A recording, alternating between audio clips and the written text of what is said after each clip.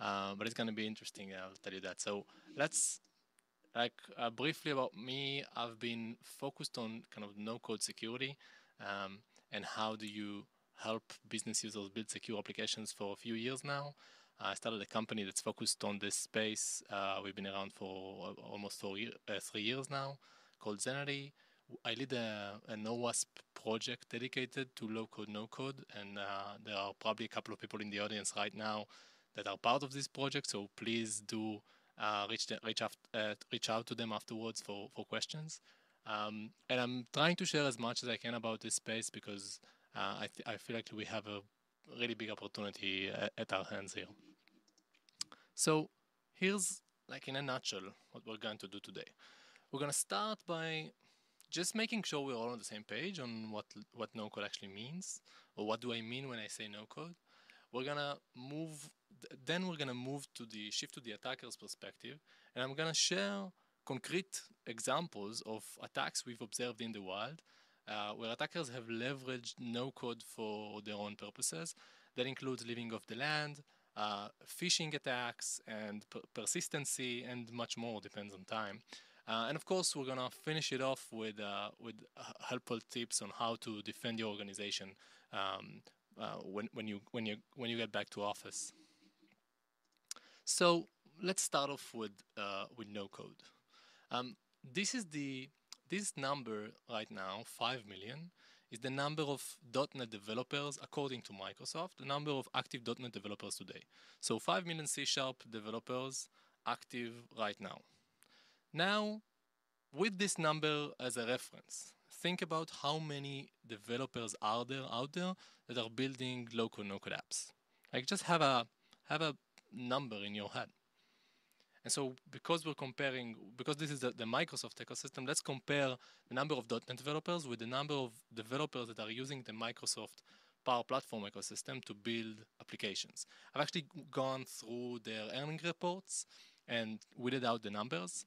And as you can see here, today there are almost, or according to this uh, regression, there are 8 million active Power Platform developers today. 8 million Power Platform developers, 5 million um, .NET developers. Now these numbers are, as you can see, like the last number that they actually that I actually got a quote on was seven million. But still, like just think about how much we're investing in those professional developers uh, versus business developers. So this is why this is important. And thinking about like the one thing that is important about these developers is like where do they work? They work for you, right? They work for the top uh, organizations in the world because those are the organizations that are using the Microsoft suite.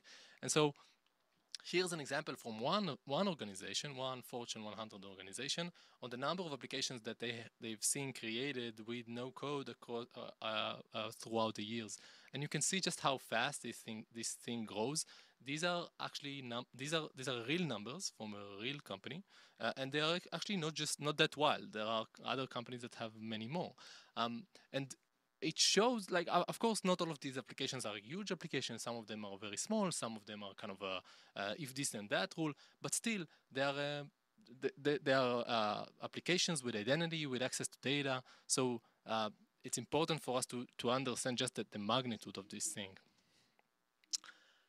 And right now, in the last few months, this thing have, has been happening, where now we're seeing in every major local no-code platform, we're seeing AI being introduced as a way to lower the bar even more, to more easily create applications, and more than that, to create applications that are more complex. So what you're seeing right now on screen is a, an experience in the Office suite where you talk to the chat, to the AI, and it will generate an application for you this application ends up, once you're done with the chat, this application has created a table in a, in a managed SQL server. It has exposed an endpoint uh, inside of your organization. Where the application is already live, it's already in production. So you understand the magnitude of this. And of course, it also means that you can build more complex applications very easily.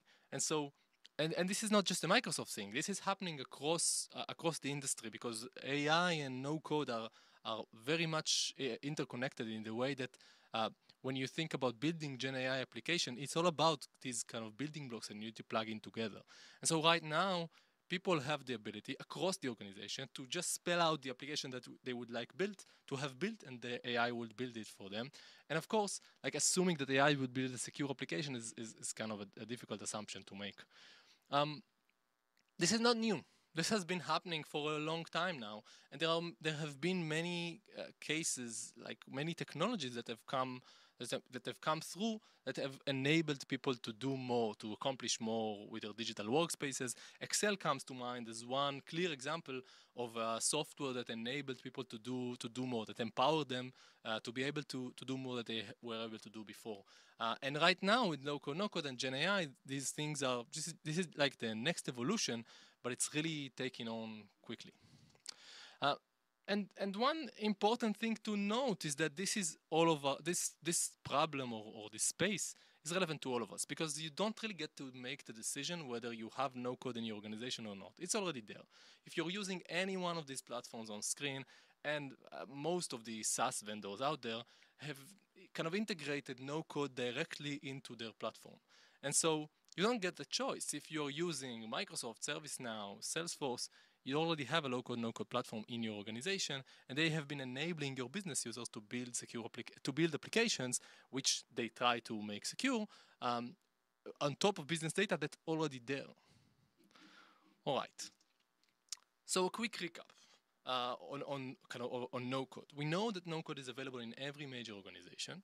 We know that it has access to both business data and and it also powers business uh, uh, processes by design. Like this is this is part of the of your business ecosystem. Um, of course, because this runs on this is based on SaaS, most of it will run on somebody else's infra. Uh, admittedly, there are some platforms that would allow you to run to run your own, but that's not the norm. Uh, and the, those applications can be built by anyone between a professional developer and a citizen developer, which means like everyone in your organization. Um, and so, and even with professional developers, you'll find that the controls are really not there. But um, that's kind of a recap up until now to make sure that we're all on the same on the same page of what of what no code is.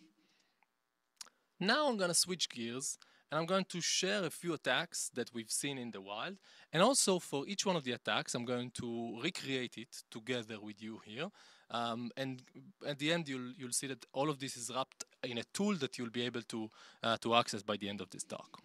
Uh, by the way, everything that you're seeing on screen, including the uh, the deck and the and the source and the source is already published. You'll see links in a moment. All right. So the first thing I wanna like before I I, I we we talk about this attack, we need to figure out like we need to have a clear example of how a, lo a low code application looks like. So uh, here's a quick little demo this is a, a, silly example where uh, there's, there's the, this annoying thing in Slack where when somebody mentions me in a public channel, I'm expected to reply quickly because other people are uh, other people are watching. And so I'm building here a quick application where every time they subscribe to a notification that I, I get uh, that somebody mentions me in a public channel, it's going to replace my status as if I'm on a call. So people will know that uh, they uh, that uh, I'm unavailable right now and they will leave me alone. Uh, and then five minutes later, it's gonna switch off to to, to to a regular kind of profile to make sure that nobody gets suspicious. Now, this is a silly example, but the important thing here is just to figure out how a how easy it is to create this application. You're seeing it on screen right now, but b this is a this is a pretty significant piece of application, right? It uh, it uh, it has to authenticate to Slack. It has to maintain secrets that would somehow allow it to authenticate to Slack. Note that I'm not providing secrets in any in any part right here in the talk in in, in this in building this app. It needs to wait for five minutes, so there's a state somewhere. It runs kind of it, it, it it runs on, on somebody else's cloud. I can share this application. And so this is a significant piece of software that I get to build very quickly. And the number one thing that's important for us to figure out about this app is the identity. How is it connected to Slack? And so if you think, when you think about, uh, when, when, you build an application, this is, I'm showing you an example for Zapier, but this is true for almost any no-code platform. Um, if you think about like allowing business users to build applications. The number one thing that would stop them from building applications is uh, permissions, right?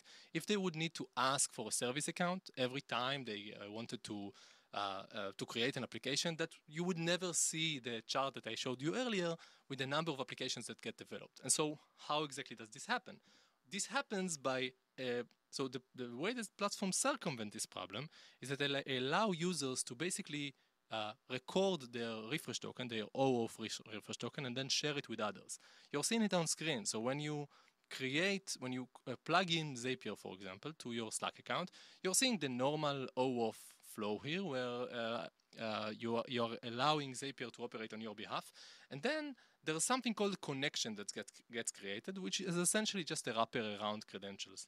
But the important thing is that is that you get this share button, this share button on top of the connection that allows you to share your identity with others.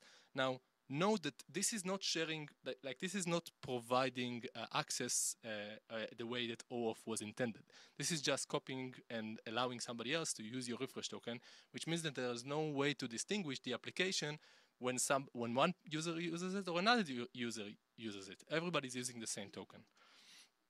Behind the scene, the way that this works is that there are mechanisms where the application gets uh, is, is, sending requests to uh, to the APIs of its, of its choice, and the platform is just replacing the tokens, uh, just making sure that when the uh, Power Automate or Zapier or any other automation platforms reaches out to Slack on your behalf, then even though the automation itself doesn't have access to your token, it's it, the token gets stored uh, uh, on a proxy uh, between those two two points, and it just and the token just gets injected uh, between those two points. This means that uh, every user of the application, every user of the connection uh, of the of the automation would use the same credentials through this gateway. They would not have direct access to the credential. They they can't like fetch out, or in most cases, they can't fetch out the token. However, they are free to use it, right? And so when you uh, when you look at these uh, at these uh, platforms, because people are widely using them, you're seeing on screen uh, people are kind of creating a whole bunch of things with them, and you're seeing on screen a bunch of popular examples that I just took off uh, marketplaces for many of the different vendors. The important thing that uh, for what you're seeing on screen here to note is actually the logos, because they indicate that these platforms are actually connected on your behalf across your organization. They're connected to G Suite, they're connected to Office, they can be connected anywhere, including on prem and, uh, and to your cloud, which means that behind every one of these logos, there's access to, access to data. By the way, that doesn't have to be read only access, that could very easily be full access, full control. And the worst thing is that most of these platforms have some way uh, to share these con- uh, have this way to share these connections and so pretty soon you end up with a whole bunch of connections and you're seeing this example on screen where a bunch of connections were created because they just created a bunch of applications that were kind of popular in my organization. And one of the things that you'll see in most of these platforms is a way to collaborate right? This is a, this is these platforms are allowing productivity within your, within your environment. And so there's this notion of a default environment. And the default environment is a way is the is like is like the place where you log in. Everybody has creden- uh, has uh, permissions to uh, build things there by default. And in this default environment, you will typically find a, a large pile of connections that are just waiting around for anybody to use them you, like you, re- you realize what this means. This is just like a, a bag of con- uh, of credentials that are waiting for everybody for anybody to, to join in, and the only thing that you need in order to uh, to get into that uh, to this pile of gold is just a, a, is a single user inside of an organization, and uh, of course in a large enterprise. Uh, we need to operate under the assumption that one that at least one user would eventually uh, uh, be attacked, like uh, be, be, compromised, right? especially when you when you consider that most of these platforms allow vendors and guests to have access to your platform as well. And so once you're in, you are able to uh, to quickly just pick up those credentials and reuse them for for, for yourself, and, and we'll show that we'll see that in a moment. Um, what can you do with these connections? So you can do uh, basically everything that you can do with the, with the credentials behind them. And in most cases, these are full blown. This is full blown access to those uh, uh, to those underlying uh, data stores or services. And so here's one example: you can build a ransomware directly using those connections. So in this uh, Power Automate uh, flow here, I'm uh, listing out all of the folders in a specific SharePoint site, and then I'm just encrypting. Uh, I'm encrypting every file with the uh, encryption function that is provided by the platform because there are valid use cases to provide an encryption function. Of, of course, that, that could also use, be used for malicious purposes. And so that's one way to do it. You can, you can, of course, as you can see on the right side, there's a whole bunch of connectors here. So you can do that well across the enterprise, not just in, in, in SharePoint. Um, one of the things that might be surprising here uh, is that you can also use this to bypass your uh, network uh, mechanisms, your, your DLP mechanisms. Because like this is kind of the latest innovation in exfiltrating email. So users have uh, forever been trying to uh, move data to their personal accounts because uh, most people would rather read their uh, corporate, or a lot of people would rather read their corporate email or have their personal and corporate calendar uh, synced with each other. Uh, of course, this could very easily lead to data to data leakage from your organization. And so we have different mechanisms to try to stop that uh, with like things that sit on the email server or a DLP. However, what happen, what can happen with the, with no code is that you, like a single application, could use two different identities. One identity is your corporate identity, and the other is your personal identity. And then things get copied from the copied from the corporate identity to the personal identity, and the copy, the data itself gets copied on the vendor's server. So nothing gets sent on the wire. There's no way for you to catch that through email. These are the, this is just an email being read from one place and then stored in another.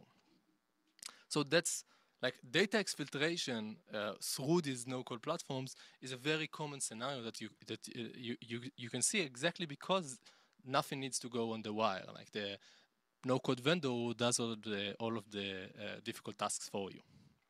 And another thing you can do here is actually move to on-prem, so move to uh, move to workstations, because some no-code platforms have also integrated something called RPA, which is basically no code that runs on somebody's workstation in a different kind of technology, but it doesn't really matter, where you are able to send commands from the cloud to your workstation to uh, to perform automation tasks on that workstation. And now of course, if you can send something from the cloud to a workstation and have that workstation accomplish the task, then if if those uh, if those permissions get shared uh, as well, then you have found a way to move from cloud, from those platforms, directly to people's uh, workstations. And I've actually given a talk at DEF CON last year uh, on how you can basically take, or you could take over that mechanism and then use it as a way to uh, to command and control into into into an organization. Uh, this has already been fixed by Microsoft, or at least the vulnerability that I've used there. Um, but this is still a, like a, an, an, attack vector we need to monitor. And now, up until now, I've, I've kind of shared a few examples here, but let me uh, switch gears here and show you. Um, and so, uh, kind of show you how this looks like. And so, what we're going to do right now is accomplish uh, one of these attacks with a tool called PowerPwn. This is a tool that we've uh, published uh, in uh, Black Hat a few a few months ago, um, and it's available right now. You can uh, go to the link uh, on screen. And PowerPwn is a tool that's focused on the Power Platform ecosystem for my so Microsoft 365. If you have if you're if you're a Microsoft shop or if you're doing a penetration testing for a Microsoft shop, this is a, a, ni a nice thing for you to use. And we're gonna see a few modules of PowerPwn today. And so the first thing I, I want to show you is, um, is, is those connections and what can you actually accomplish with them. So let me switch off to a quick demo.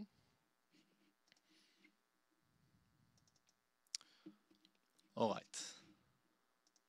And hopefully this would be, this will be easy. Okay, so I'm uh, just shooting up uh, PowerPwn here, and you can see that there's, there's a simple command on screen, PowerPwn dump, which would actually go and to, uh, I'm providing the tenant that I would like to kind of exfiltrate. Um, and then what, what would actually happen is that PowerPwn would reach out to that tenant, find all of the uh, connections, applications, credentials that are available to me, and then to that user that I've logged in with, and then just dump all of the data behind them. So let's see how this looks like. I'm providing the tenant ID for, uh, for PowerPwn. it's going to use um, the device login in order to authenticate, but of course you can provide a token from uh, anywhere else. You can also uh, take a, a, token to from other uh, tools like uh, uh, like road tools or any, any anything else where you can get a token. We need a bearer here, but but you can switch those off. Once you log in, then first of all, it's going to do some recon to find all of the different environments that exist within this specific Power Platform tenant.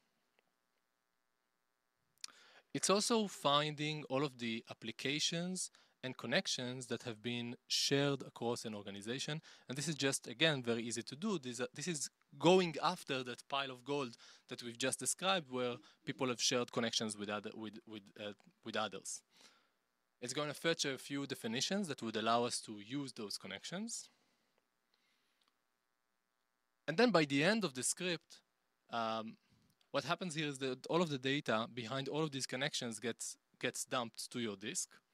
Uh, so you can see that, uh, uh, like uh, I'm showing the specific, like uh, I can I'm, You can see that inside of this dump folder uh, for each, um, I'm kind of have listed here all of the different types of connections that I found. So you can see connections to Azure Blob Storage, to Azure File Storage, Azure Tables, uh, CDS, Common Data Services, Power Apps for Admin. So these are the different connections that I would be able to use.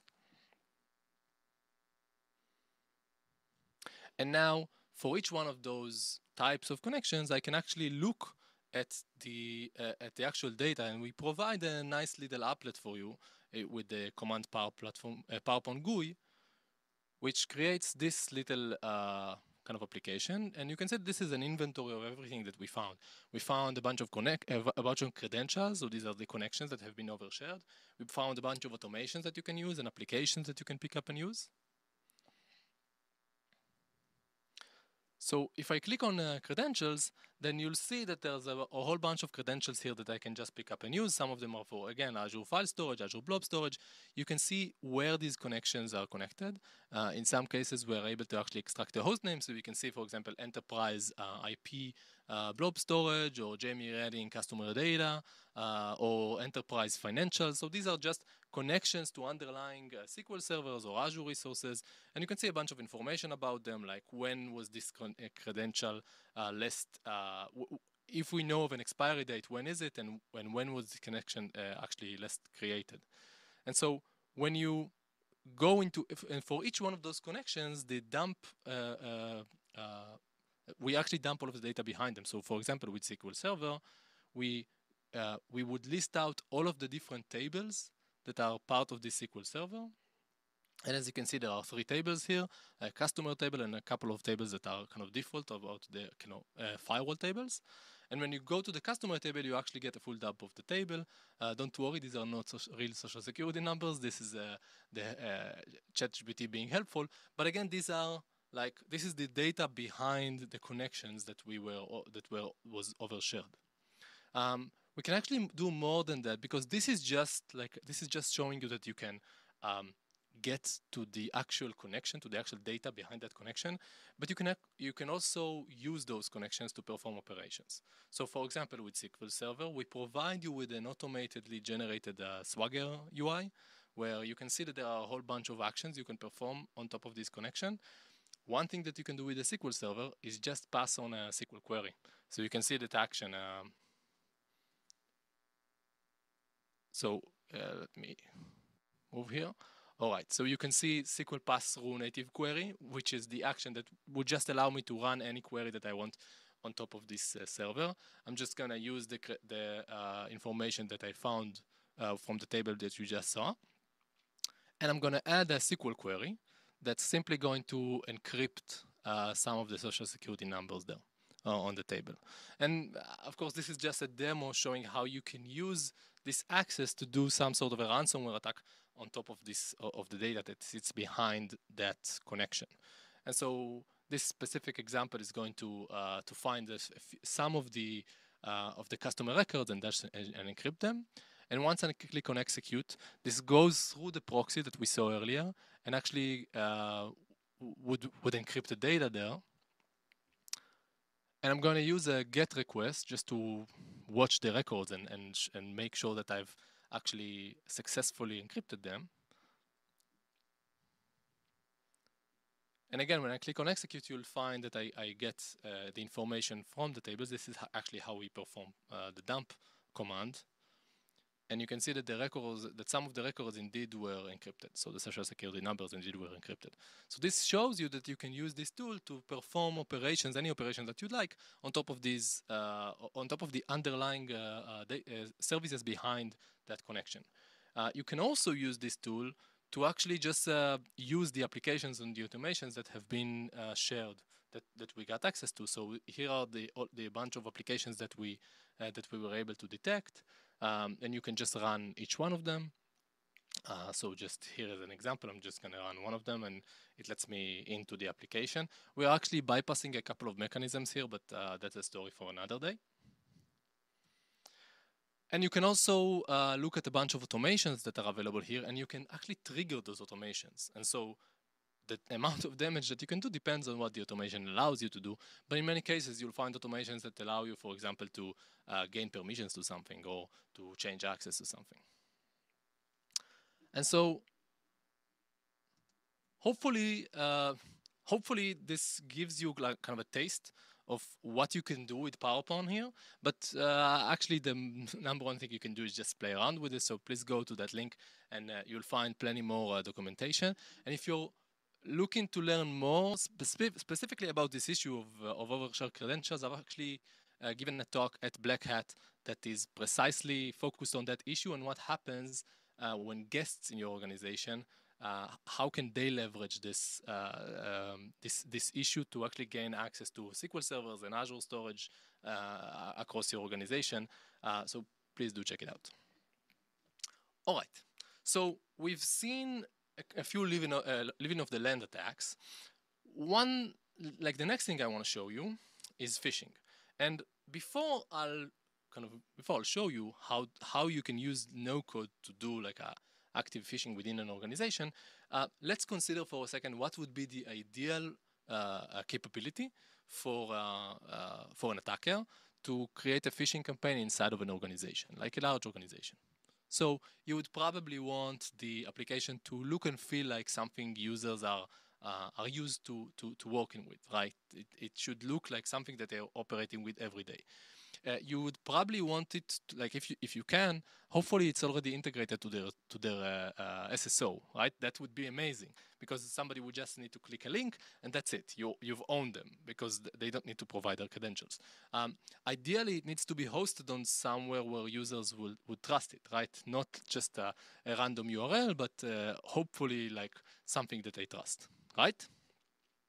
So uh, I'm going to show you right now how you can use the Microsoft platforms to the Microsoft platform to accomplish all of that. Because when you think about again the number of applications that we saw earlier, like the huge uh, uh, exponential graph uh, at the beginning of this talk, then you'll like just think about an organization that has created so many of these applications. In an organization that uses these platforms, people are used to to using a, a, a applications that were generated by these platforms a, a lot, and, and, they always look and feel the same thing, the same way. Uh, and so here's the question: Can we can we take an application? Can we create an application that's actually useful? It does something useful for an organization. Maybe you'll just pick up an, an application from the marketplace, and then every time a user logs into that application, the user would need to log in, and maybe we can even make it make them log in automatically. Once they are in, and they have provided us with uh, uh, like uh, with authorization to do to basically, for example, access the access email on their behalf to do something that's all right. Then we can use their email to do whatever we want, and then we can own their account. And so, and so this is what we're going to try to do. We're going to try to create an application that is uh, doing something useful, so people will actually use it. But every time somebody logs into it, then uh, then then then uh, we've owned them. And so now I'm going to switch directly to a demo.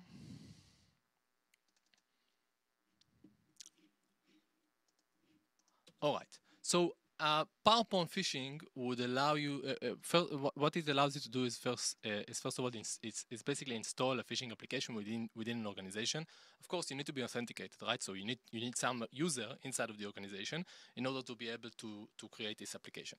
So I'm creating this uh, phishing application, and you can see that the, the name of the application is Shoutout. It's uh, at the end of the command line there. I just picked up a random application from the marketplace and and just repurposed it. So I'm just gonna run the command.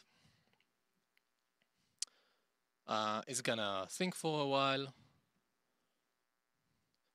loading a bit, and then it's going to generate uh, an application for me. And you can see, so you can see the application run URL. All right.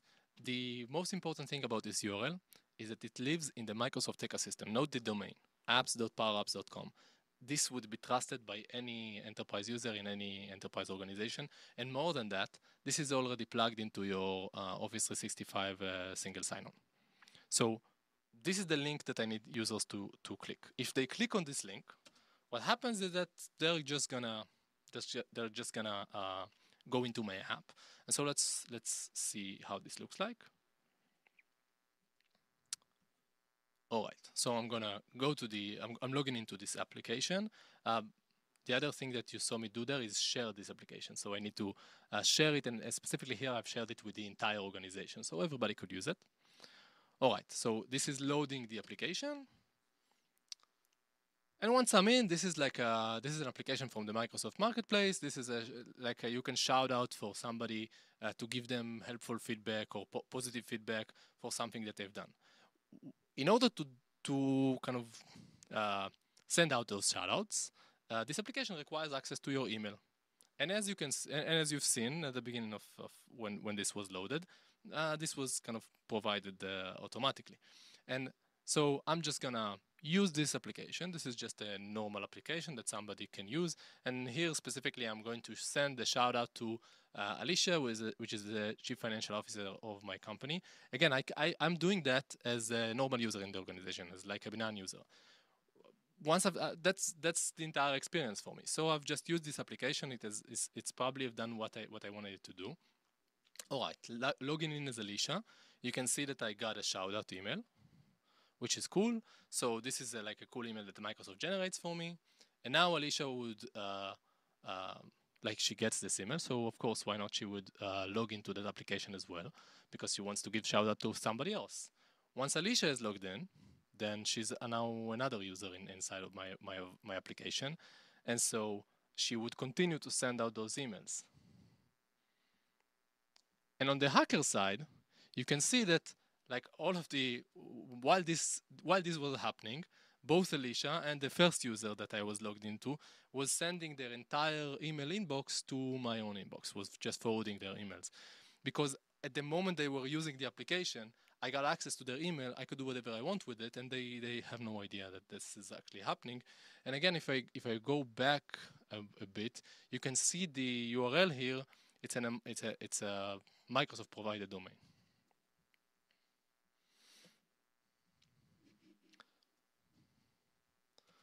All right. So there's plenty more information that we could have gone to uh, with this demo, but if you're looking for more of these examples, there's another talk at Black Hat uh, that was directly related on, on these types of quirks, so if you're interested, just uh, check it out. Okay, we have uh, time for one more, and it's gonna be, um, I, I might kind of uh, skip uh, some of it, but one of the things that so you you understand how powerful uh, like getting being an attacker and being able to access those platforms you understand how powerful it is. So of course attackers would want a way to stay in once they're in.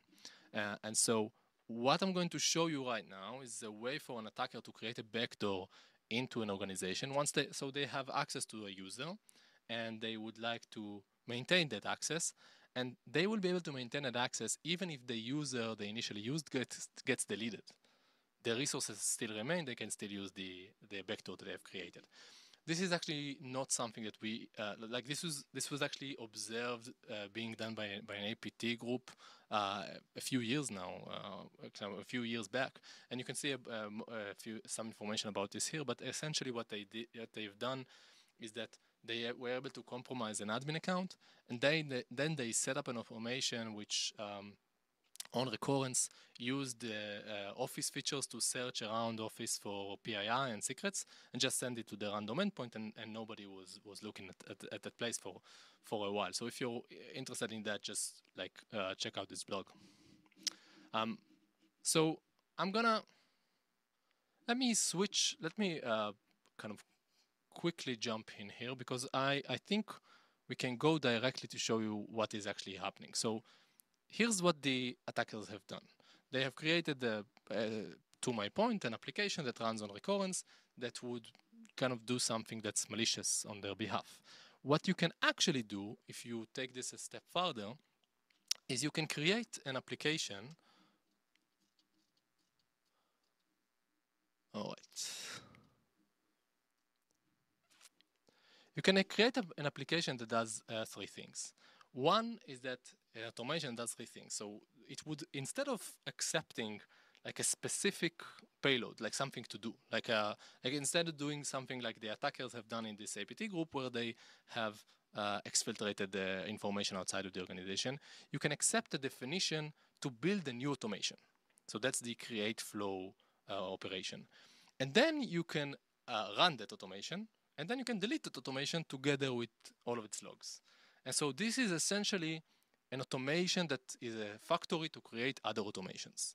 And this is what we've done here. And again, I'm gonna show you with the uh, like uh, I'm not sure we have time, but um, uh, what what essentially we were able to do here is when you is you create. You know what? Uh, I'm gonna I'm just gonna show you. So and sorry, I'm uh, a bit hard to uh, a bit difficult to read to read the audience. Um, and so let me show you exactly how this looks like with PowerPoint.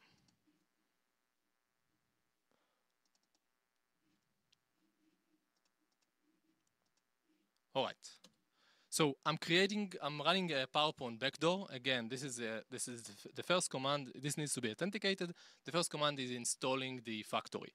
That factory would, would be our backdoor. Um, and you can see that I'm, I'm kind of providing some information here. That right now is just creating an automation that would accept definitions of other automations that would like to create. Once I'm done with creating this automation, I get, uh, you can see that the flow was successfully installed. And now I get a webhook URL. That webhook URL is, is my backdoor, all right? And you can spot on that, on that URL that there's actually a secret there at the end of that uh, URL. This is the URL that is going to, this is the mechanism that's going to allow us to continue to hit that backdoor endpoint even though a user gets deleted. Now you can use a PowerPoint backdoor to use that backdoor. And you can see that through that backdoor, you can do a couple of things. You can create an automation, create a flow.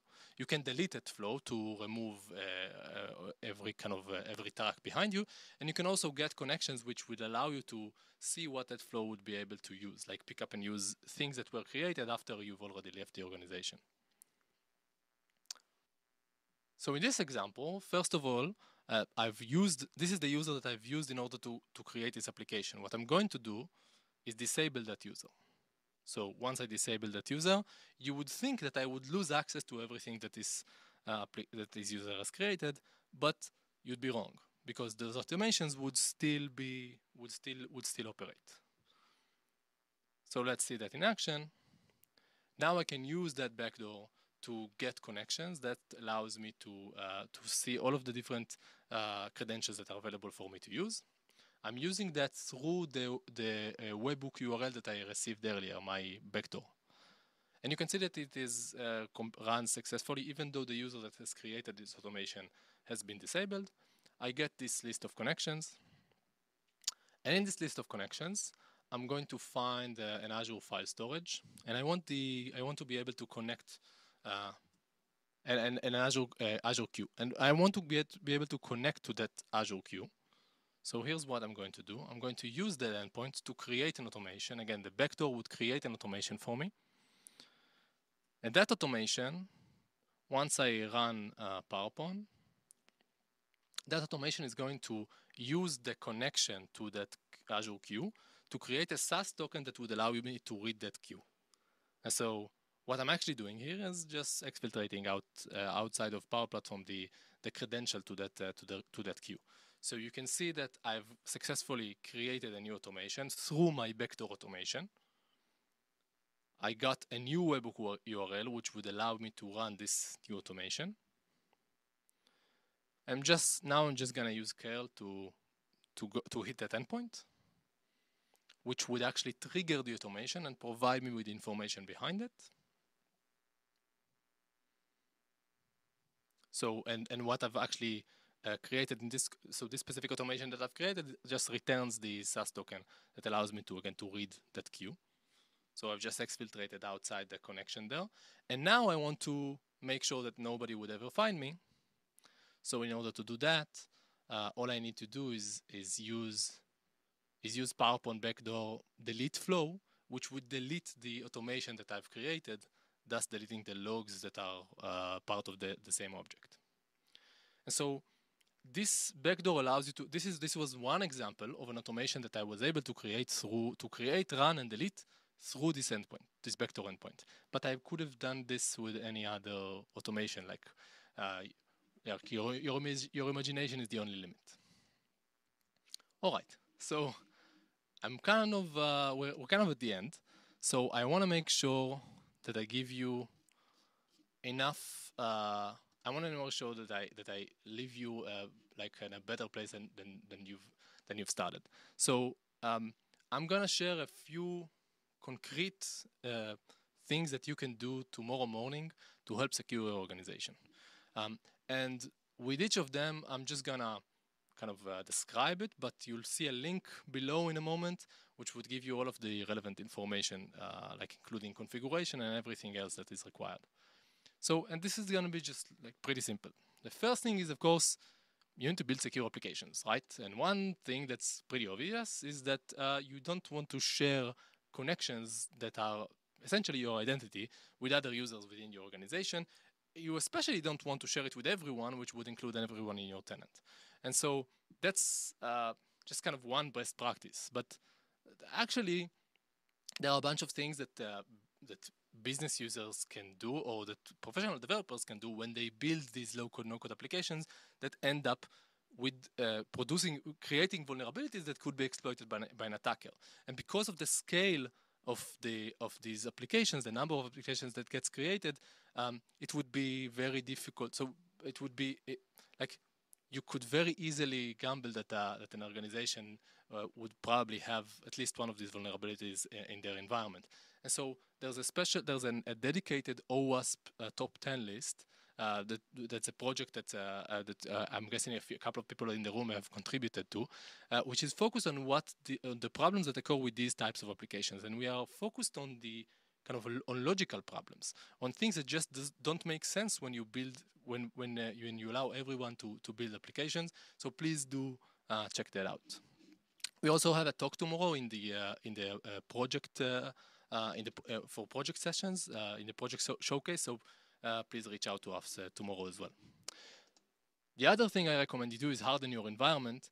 And I think the like if you take one thing from this talk, um, we can't expect to have so many developers using low code, no code, um, and to invest so little security effort into helping them do their job and not have a bunch of vulnerabilities out there and not be owned by hackers. We really need to step up application security uh, for low-code, no-code applications and the things that citizen developers are, are building. And I'll, I'll, leave it at that, but there's plenty more to, to say about that, so uh, please check out the link. And the last thing I'll say is uh, hack your environment uh, because other people are trying. And uh, if you're looking for a resource, please check out PowerPoint. Uh, everything I've, I've, I've, everything you've seen today and other things can be accomplished, uh, and it's all open source. Um, with that, thank you very much.